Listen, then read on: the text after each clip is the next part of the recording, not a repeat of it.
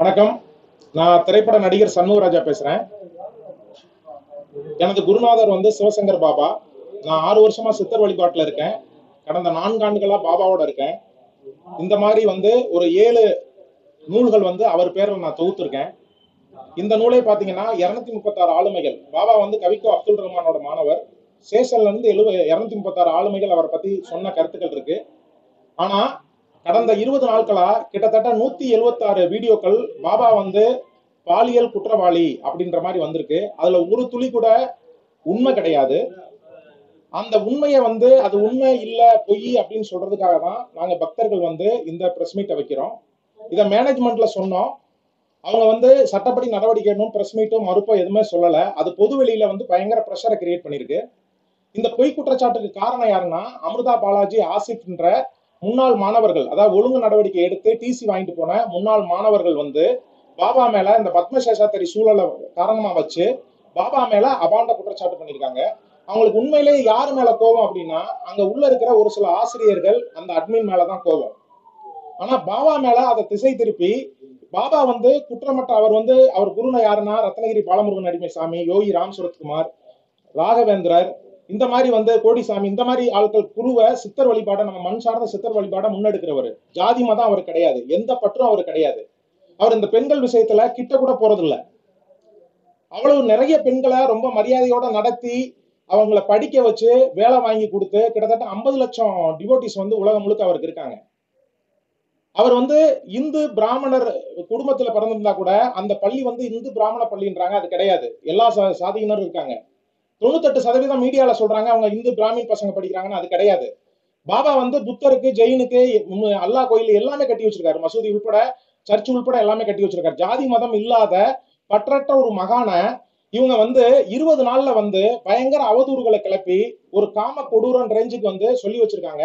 இதுல மீடியாவை சேர்ந்த நம்ம தோழர்கள் நிறைய நண்பர்கள் இப்ப ஜல்லிக்கட்டு மீத்தேனு எட்டு வழி சாலையிலாம் நல்ல கருத்துக்களை முன்னெடுத்துட்டு போன நண்பர்கள் வந்து இதை உண்மைன்னு நினைச்சு இந்த மெட்டீரியல் எடுத்து அப்படியே ப்ரொமோட் பண்ணிருக்காங்க.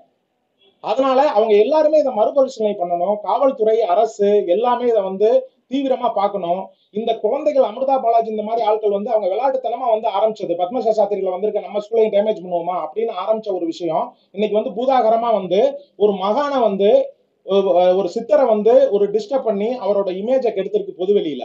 இதை வந்து நாங்க வந்து வன்மையா கண்டிக்கிறோம் மன உளைச்சலோட இருக்கோம். கிட்டத்தட்ட ஐம்பது லட்சம் பேர் மன உளைச்சலோட இருக்கோம். யாரும் வெளியில வந்து எல்லாரும் பேசுறதுக்கு தயாரா இருக்காங்க. நாளையில இருந்து சோசியல் மீடியால வந்து நிறைய பொதுவெளியில வந்து நிறைய வந்து கருத்துக்கள் வந்து பகிரப்படும். ஏன்னா நேத்து வந்து போக்சோ சட்டம் வந்து அவர் மேல போட்டிருக்காங்க. நாங்க இது வந்து மேனேஜ்மெண்ட் சட்டப்படி நடவடிக்கை எடுக்கிறாங்க. இது சரியாயிரும். இந்த விசாரணையோட முடிஞ்சு போயிரும் நினைச்சா போக்சோ வரையும் போயிருச்சு. அவருடைய தரப்பு வந்து எந்த விளக்கம் இது வரைக்கும் ஏன் தரல சார்? அவருடைய தரப்புல எல்லாத்துக்குமே வந்து சட்டப்படி அதான் நான் சொல்றேனே நான் வந்து இந்த பிரஸ் மீட்டை வந்து இந்த போலீஸ் வந்த மூணாவது நாள் அதாவது இருபத்தி எட்டாம் தேதி நடத்த சொல்லி கேட்டேன் மேனேஜ்மெண்ட்ல அவங்க நம்ம நம்ம மேல தப்பு இல்ல. சட்டப்படி நடவடிக்கை எடுப்போம்னா எஸ்பிக்கு சிஎம் செல்லுக்கு சைபர் கிரைமுக்கு எல்லாருக்கும் கொடுத்தாங்க. அப்புறம் முதல் முதல்ல அவங்க வந்து குழந்தைகள் நல உரிமையில இருந்து கமிட்டி வந்துச்சு. அவங்களுக்கு எல்லாத்தையுமே விசாரணைக்கு எல்லாத்துக்கும் உடன்பட்டு எல்லாமே கொடுத்தாங்க. அப்புறம் ஆறு பேர் மேல சம்மன் வந்துச்சு. அதுக்கு அஞ்சு பேர் போனாங்க. பாபா மட்டும் தான் என்ன போகணும். அதுக்கடையில இந்த மாதிரி இந்த ஒரு இது வந்திருக்கு. இதுல. குற்றச்சாட்டு இருக்கிறதுனால அதுக்கான ஆதாரம் இல்லாததுனால தானே வெளியே வந்து பேசல. இல்ல இல்ல அப்படி இல்ல. நாங்க வெளியில வந்து பேசுங்க பேசுங்கன்னு நாங்க சொல்லிக்கிட்டே இருக்கோம். மேனேஜ்மெண்ட் அப்படி ஒரு முடிவு எடுத்தாங்க. நீங்க சொல்லியுமே நீங்க நாங்க நாங்க இல்லைங்க. இப்ப நீங்க ஒருத்தர் தான் வந்திருக்கீங்க. இல்ல சார் என்னை மாதிரி கூட்டம் போட்டாவோ என்னை மாதிரி ஒரு ஐம்பது ஐம்பதாயிரம் பேர் வெளியில பேசிக்கிட்டே இருக்கோம். திரு விரைவில் வந்து அங்க மேனேஜ்மெண்ட்லயே போய் சண்டை போடுறதா இருக்கோம் நாங்க. கேட்டு முன்னாடி போய் இப்ப இப்ப எங்களோட திட்டம் என்னன்னா அடுத்த திட்டம் என்னன்னா கேட்டு முன்னாடி போய் இருநூறு பேர் சேர்ந்து சண்டை போடணும் மேனேஜ்மெண்ட்ல நாங்க சொல்ல சொல்ல கேட்காம இந்த மாதிரி ஒரு காரியத்தை பண்ணி போக்சோ வரையும் வந்துருச்சே. நீங்க வந்து இதை சொல்லியிருக்கலாமே அப்படின்னு நாங்க சண்டை போடுறதா இருக்கோம் எங்களை அடுத்தது வந்து சிபிசிஐடிக்கு முக்கியமான ஒரு டாக்குமெண்ட்டை கொடுக்கணும். அப்புறம் உங்களுக்கு பொது வெளியிலேயே அதை கொடுக்கணும் மீடியாவுக்கும் கொடுக்கணும்.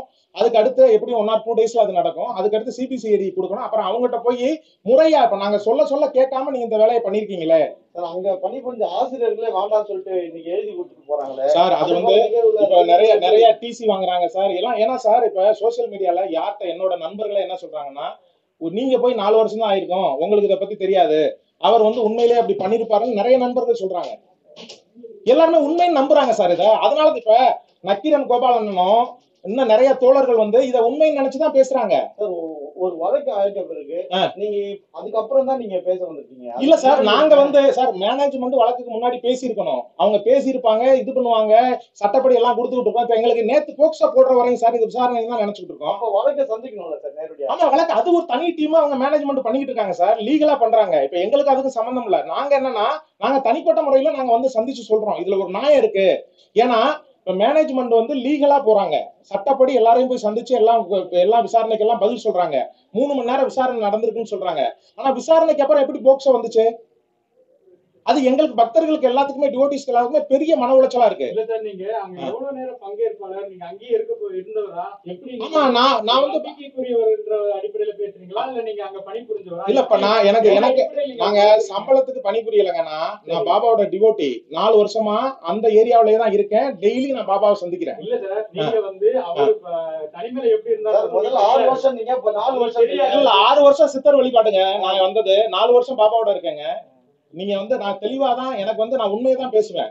நான் உண்மையை தான் கரெக்டா அவரோட ஆறு வருஷமா சித்தர் வழிபாட்டுல இருக்கேன். நாலு வருஷமா பாபாவோட இருக்கேன்.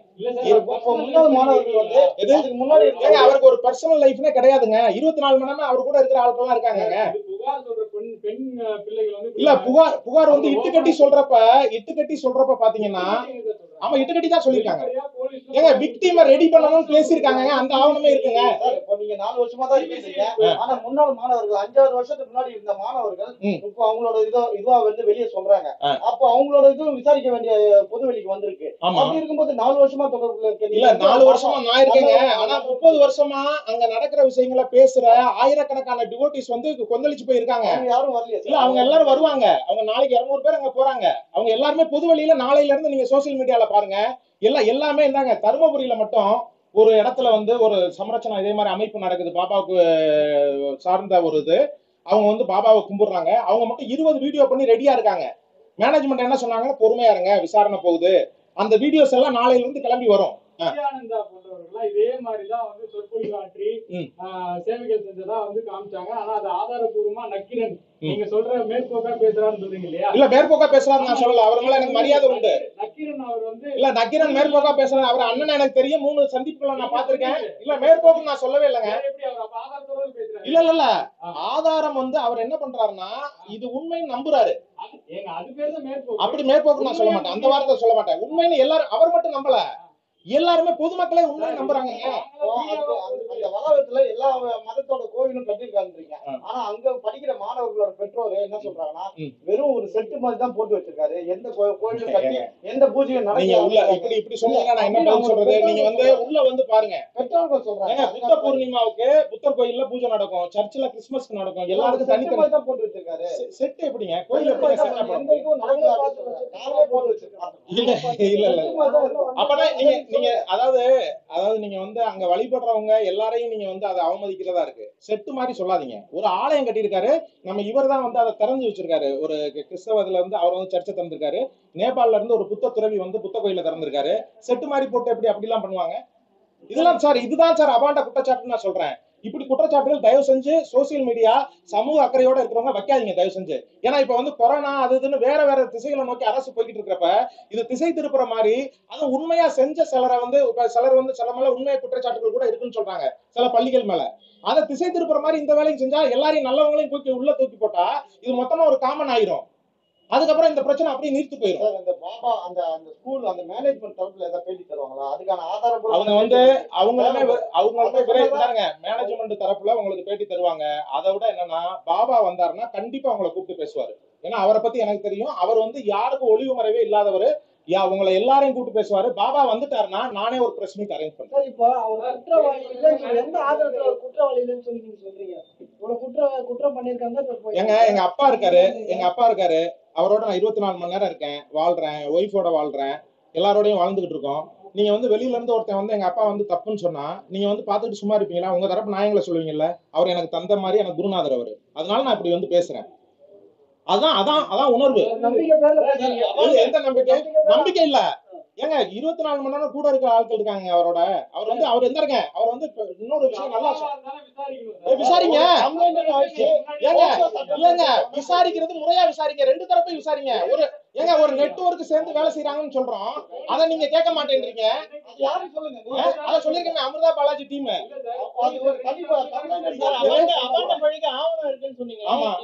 என்ன மாதிரி evidence, என்ன மாதிரி இல்ல அந்த அது வந்து அந்த முக்கியமான டீம் பேசுனது. அது வந்து என் கையில இல்ல என்னோட நம்பர் வச்சிருக்காரு. அது வந்து உங்களுக்கு நாளை காலையில கூட உங்க எல்லாரையும் ரீச் பண்ணும். சார் போலீசார் வந்து ரெண்டு தரப்பையும் விசாரிக்கலன்னு சொல்றீங்களா? எது? இன்னும் ஆழமா விசாரிக்கணும். ஏன்னா இப்ப போக்சோ போட்டிருக்காங்க. சார்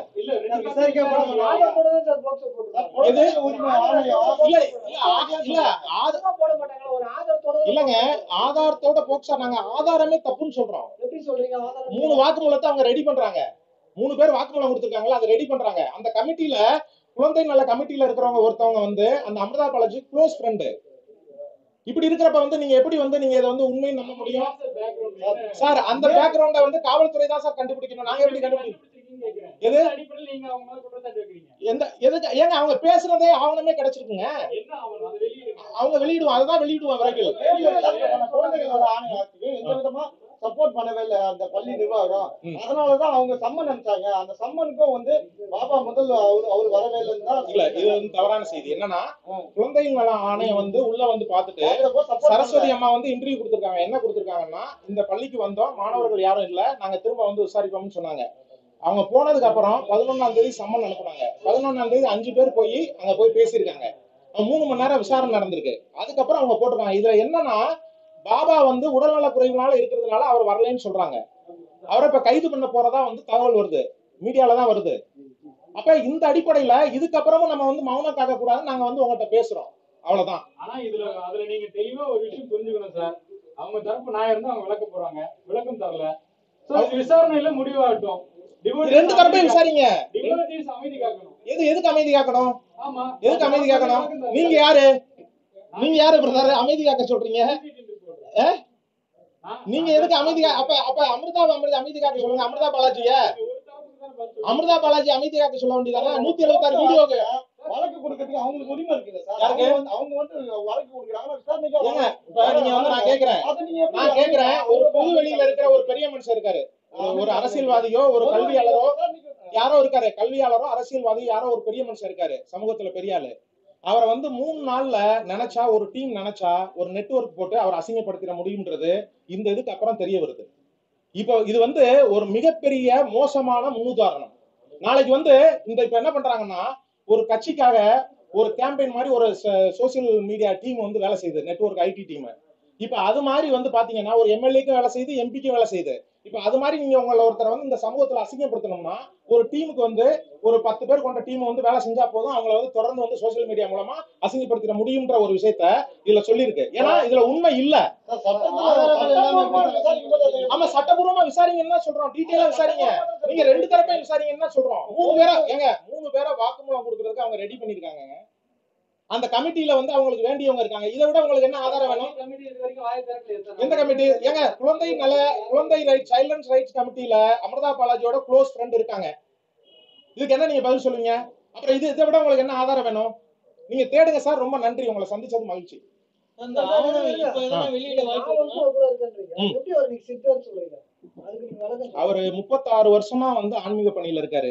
அவர் வந்து என்ன பண்ணிருக்காருன்னா கிட்டத்தட்ட வந்து நீங்க அங்க வந்து கேம்பஸ்குள்ள பாத்தீங்கன்னா லிங்கிச்செட்டி ஸ்ட்ரீட்ல இருந்து அருள்வழி சித்தர்ல இருந்து நம்ம காஞ்சி பரமாச்சாரியார்ல இருந்து நம்ம பூண்டி மகான்ல இருந்து சாது கிருஷ்ணவேணி அம்மால இருந்து கிட்டத்தட்ட வந்து அங்க வந்து கோயில்ல வந்து முப்பத்தாறு சித்தர்களுக்கு கோயில் கட்டி அவங்களோட நேரடி பழக்கம் இருக்கு. சாது கிருஷ்ணவேணி அம்மாவை கல்யாண தீர்த்தத்துல போய் பார்த்திருக்காரு. புரவிப்பாளையத்துல போய் கோடிசாமியை பார்த்திருக்காரு. லிங்கிச்செட்டி ஸ்ட்ரீட்ல போய் அருள்வழி சித்தர்ல நேரடி ஆசீர்வாதம் பெற்றிருக்காரு.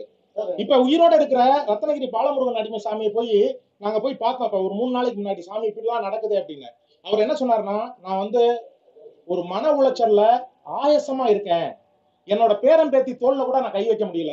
இந்த மாதிரி விஷயங்களை பாக்குறப்ப பள்ளியில பணி புரிஞ்சவங்க சில பேர் அப்ரூவலா மாற்று தயாரா இருக்காங்கன்ற அவங்க மாறட்டும் சார் விசாரிக்கட்டும் சார். அவங்க பின்னாடி எதுவும் காசு கொடுத்துருக்காங்களா என்னன்னு எல்லாத்தையும் விசாரிக்கட்டும் சார் அவங்க. எது நான் நான் என்ன சார் நான் எனக்கு எதுவுமே வேணாம்.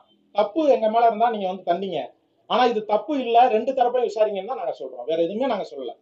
தப்பு இருந்தா தண்டிங்க ரெண்டு தரப்புலையும் விசாரிங்க. ஆனா ஒரு தரப்ப தப்பு இல்லாத தரப்ப நீங்க தண்டிக்காதீங்க. அது அரசுக்கு அரசுக்கு தவறான ஒரு இதை வந்து இட்டு கொண்டு போற மாதிரி இருக்கும். இப்ப நல்ல அரசு போய்கிட்டு இருக்கு. நான் வந்து திராவிட சிந்தனைகள் கம்யூனிஸ்ட் சிந்தனைகள் இதெல்லாம் ஈடுபாடு உள்ளாளு நான் வந்து இந்த பேட்டிக்காக நான் சொல்லல. ஏன்னா நண்பர்கள் இலக்கியவாதிகள் என்னோட ஃப்ரெண்ட்ஸ் நாடக நண்பர்களுக்கு எல்லாருக்குமே என்னை பத்தி தெரியும். ஆமா அதுல இருந்து நாங்க எங்க ஆன்மீகத்துக்கு வர்றேன். நான் வந்து என்ன இப்ப ஆன்மீகம்னா யாரு? நீங்க தான் எங்க இருந்து கேட்டவர் தான் அங்க போயிருக்காரு.